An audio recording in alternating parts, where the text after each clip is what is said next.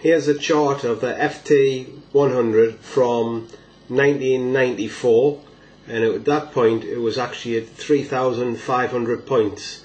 Now in the insurance industry you're actually only allowed to quote for 5% or 9% but when I first took out my pension, one of the pensions in 92 uh, salesman at the time was quoting 20-30% growth and obviously he'd retire with loads of money.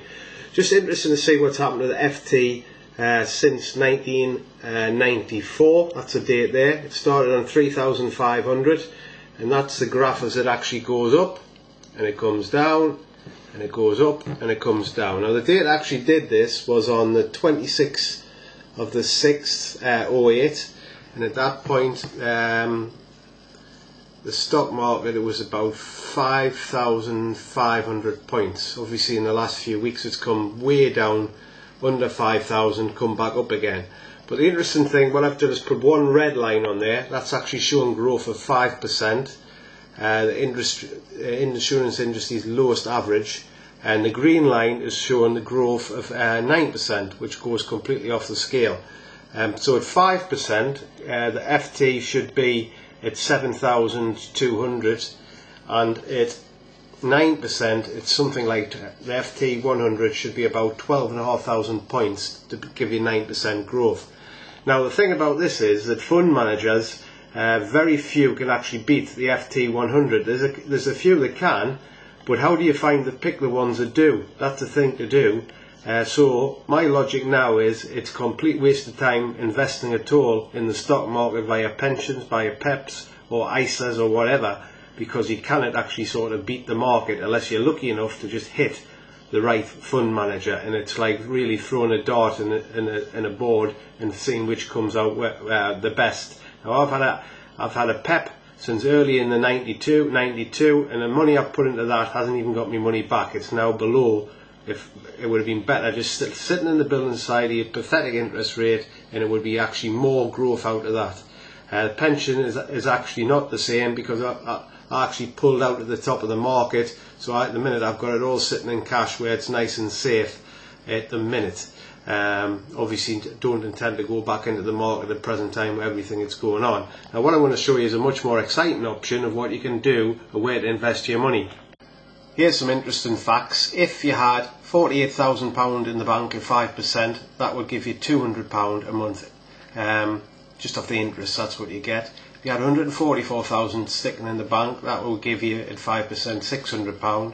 192,000, that will give you 800 pound a month. 240,000, 1,000 pound a month. 480,000, uh, 2,000 pound a month. And 1.2 million would give you 5,000 pound a month.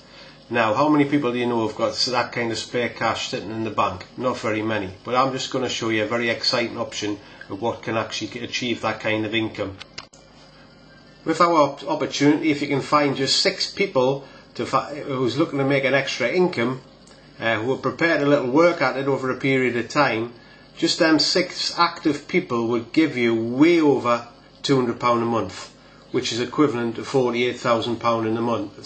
So it's equivalent to having £48,000 sitting in the bank. Now, how hard is it to find six people who want to make an extra income compared to how hard is it going to invest to put a lot of money away for a pension. Now just think about that, just finding finding them six people. Now we're taking a little step further.